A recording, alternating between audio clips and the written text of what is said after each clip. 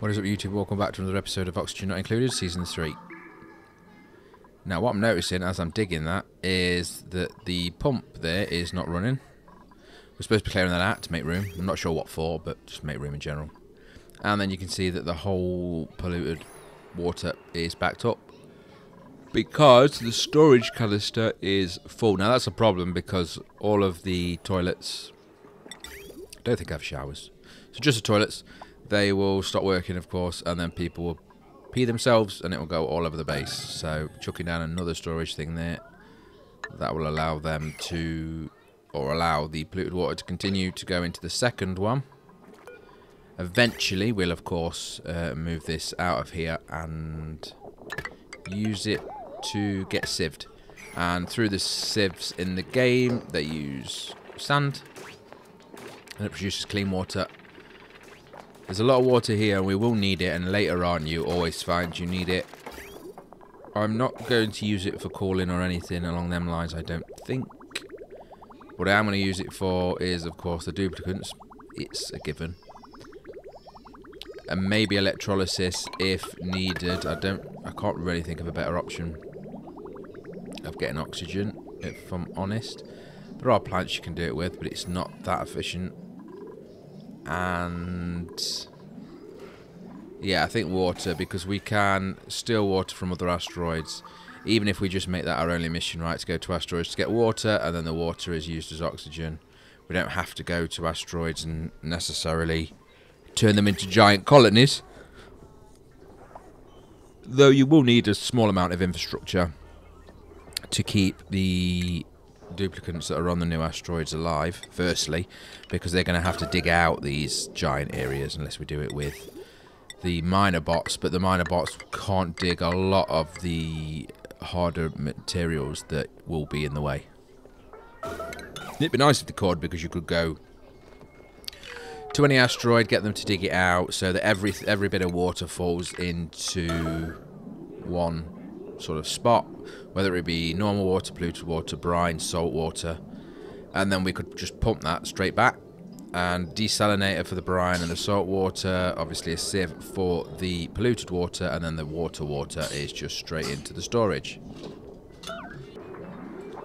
Still doing some wiring up now for the water water, and I'm not sure why water water, saying it twice means that it's the blue one. Just normal water, right? So what this is actually going to do is drain that tank to the new tank, which is the one on the left. But it's 50-50 splitting on the pipe, how that pipe is set up. So as you can see, I'm already fixing this because that's no good. I want all the water to move to the second new tank on the left.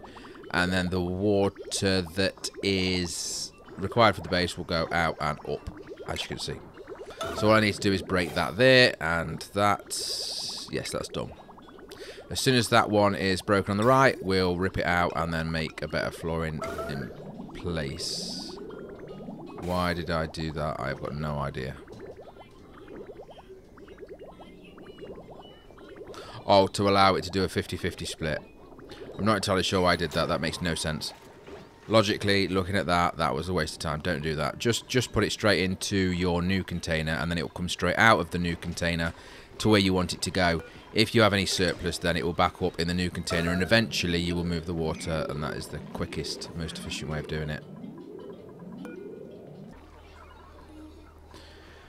So, in terms of the critters and the automatic processing of the eggs, as you can see, it's happening here, but they're not being picked up automatically, and that is because the up arrow, which is the mod that allows you to separate the two, needs to be set at zero for it to trigger the actual um, duplicants to come and fetch him. So basically, it's looking for an actual number of what is allowed in that room.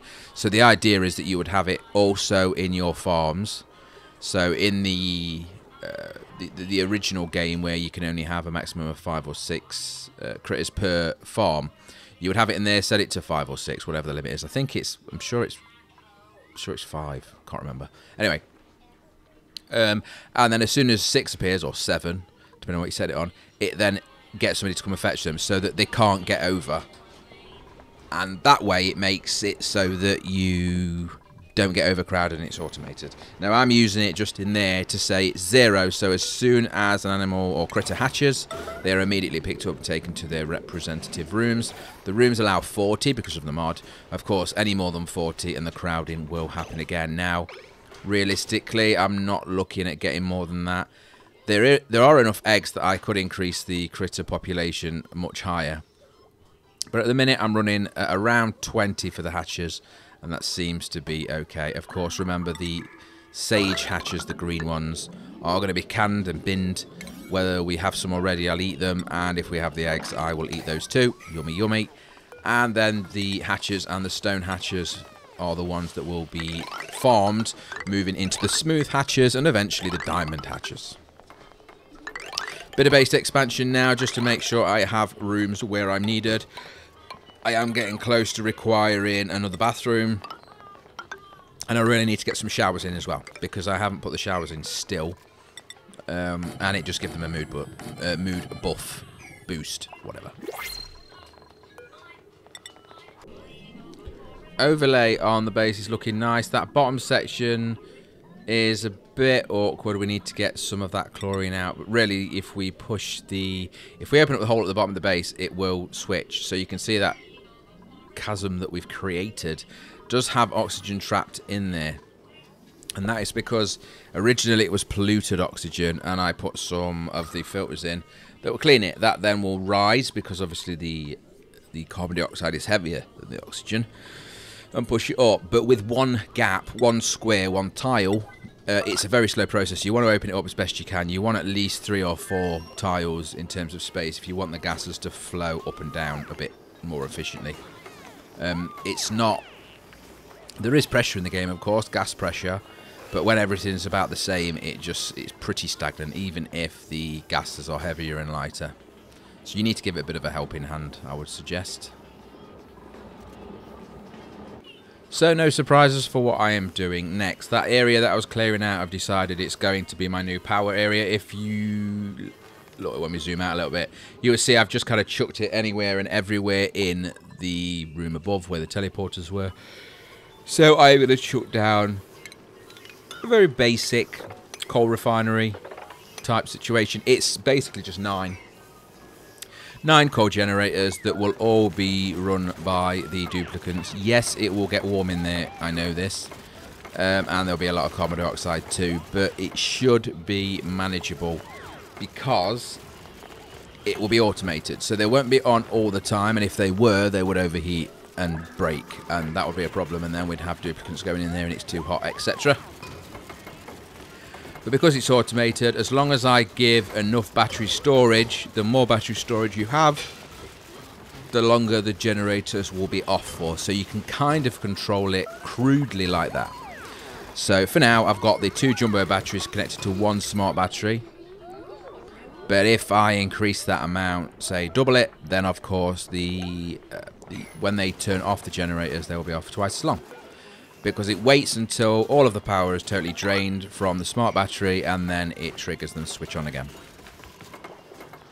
Now, using nine generators is going to be costly on the coal. We are producing coal through the hatches, but I'm not convinced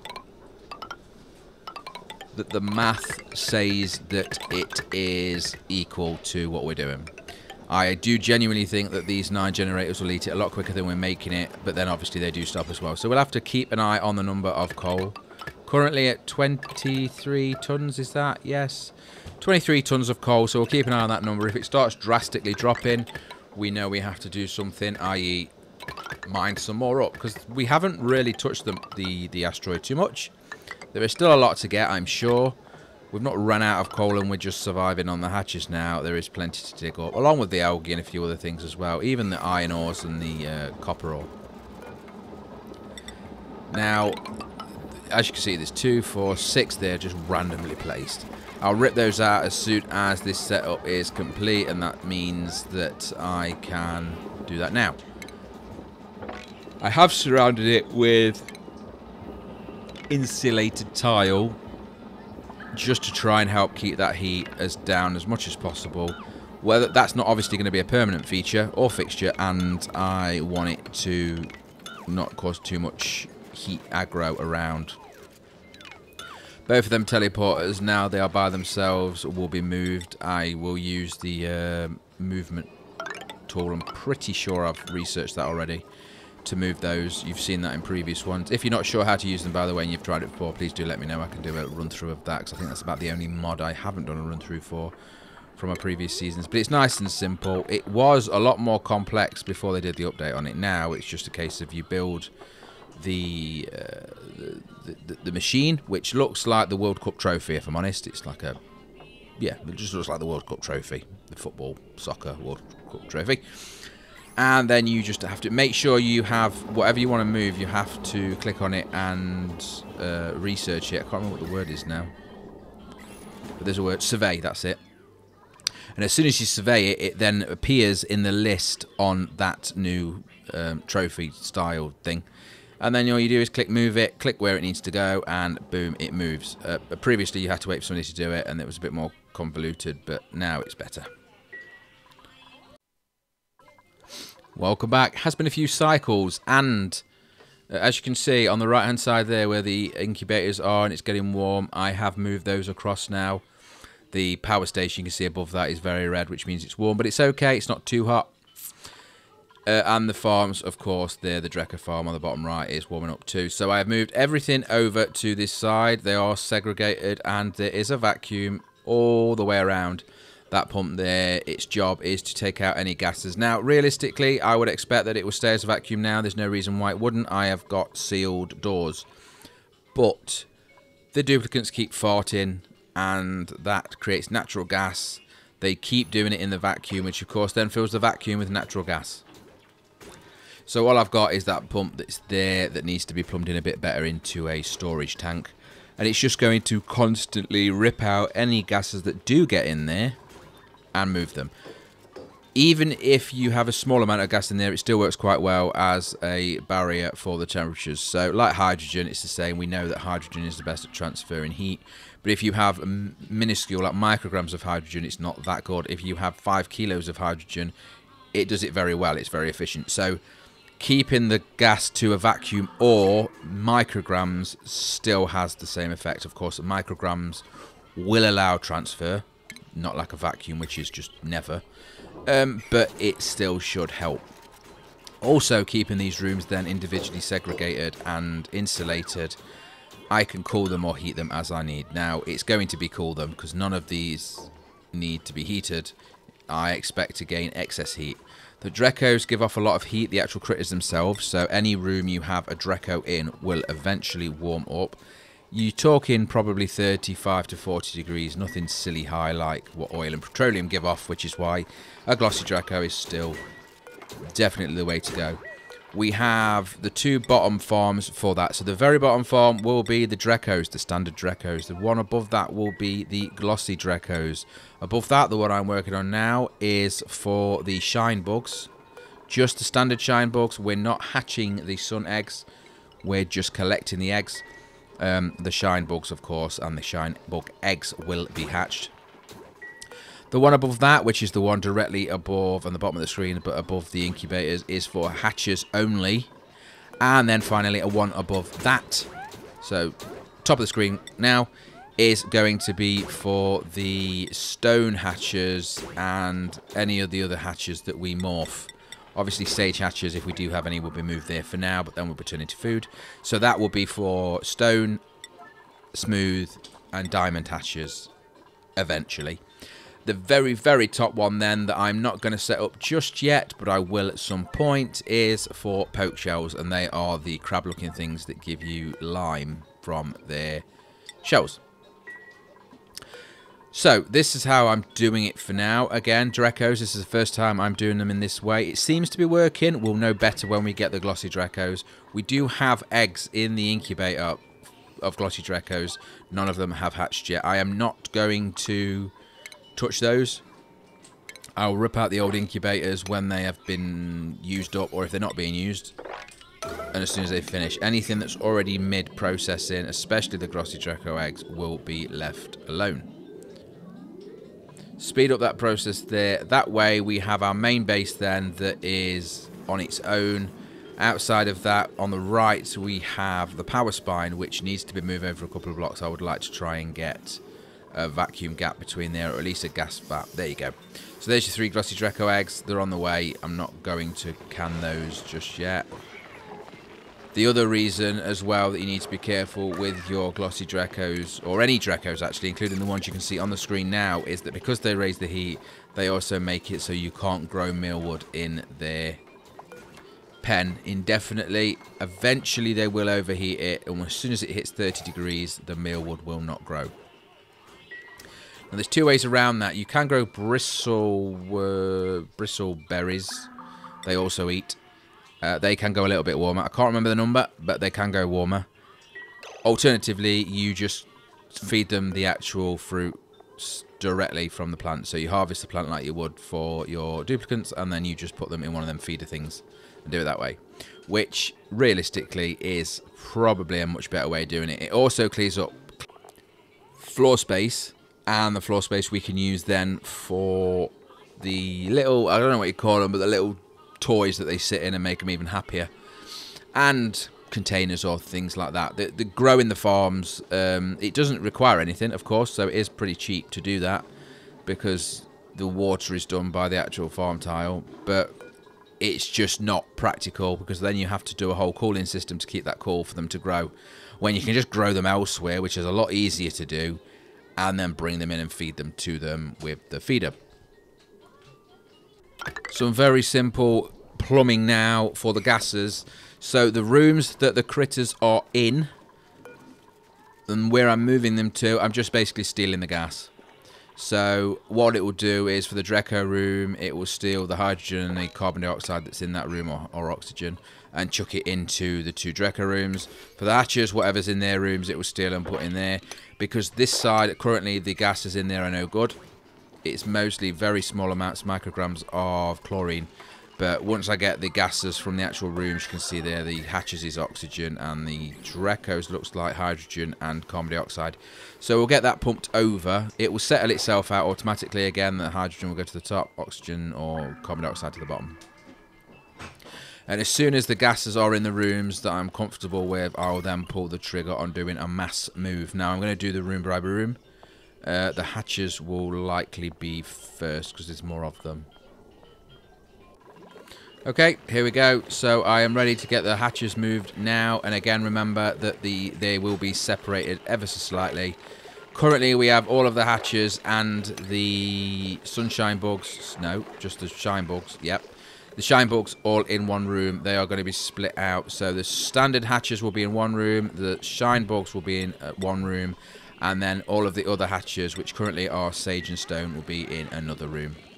So as soon as the ranchers come over, we now have three qualified ranchers. Uh, I do want some more, but for now, we'll be okay.